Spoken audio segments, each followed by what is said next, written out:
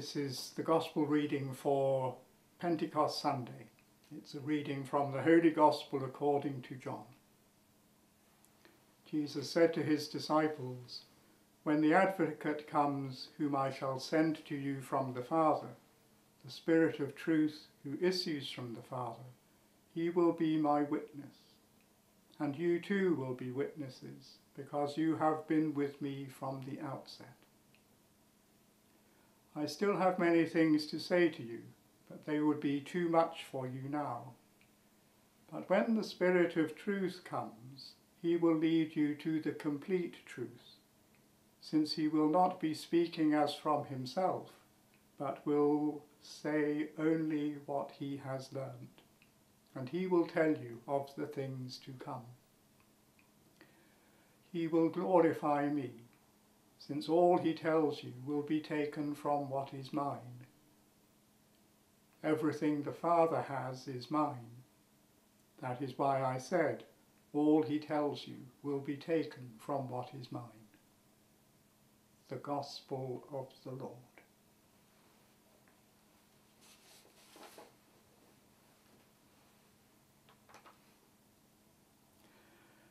According to John's Gospel, the issue between Jesus and those hostile to him was why anyone should believe Jesus' claim to be Son of God and to have been sent into the world to save it. In reply, Jesus appealed to St. John the Baptist and to the works he did and the words he spoke in his Father's name.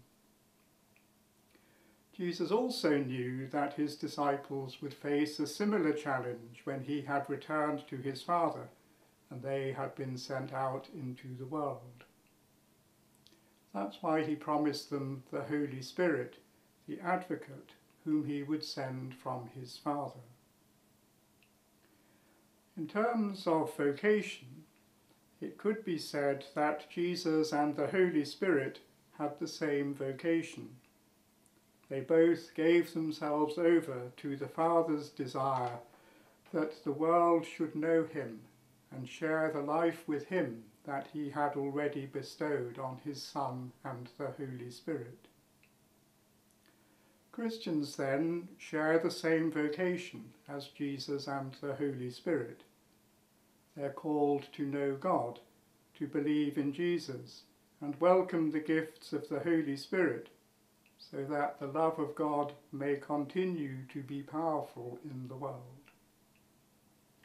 The Feast of Pentecost is the celebration of the Church's vocation to adopt the will of God as her own and to preach knowledge of God, Father, Son and Holy Spirit to the whole world.